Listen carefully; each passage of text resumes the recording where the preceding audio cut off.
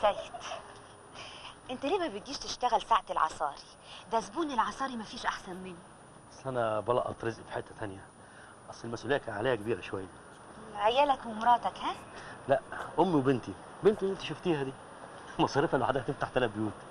أصل أنا دخلتها كلية الطب القصر العيني. بسم الله ما شاء هتبقى الله دكتورة إن شاء الله. ما هي السبب اللي جابتني مصر؟ أنا عندي استوديو في هي أنا نظرتي ما تخيبش ابدا. أول ما شفتك في الخناقة وقلت عليك راجل أصيل. وعشان كده بقى ما رضيتش أشد معاك. قلت يا بنت خليكي حنينه لكن لا أنا لا و... لا لا لا. لكن خليكي حنينه الدنيا دي ما تنفعش إلا بش- بشوية حنية يا ست نوسة. بس هي فين؟ عمرها ما كانت خشنة زي الأيام دي. الخشن ينعم يا ست نوسة. إيه ده؟ أنت مسكت إيدي؟ عيب عيب عليك. عيب انت راجل محترم. راجل محترم ومدخل بنتك كلية الطب. وأنا كمان ست محترمة وحاجة سبع مرات.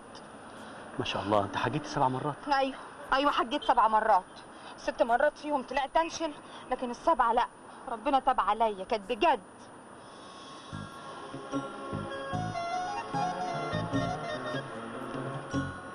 طب إيدك بقى يا ست حاجة تونس بيها؟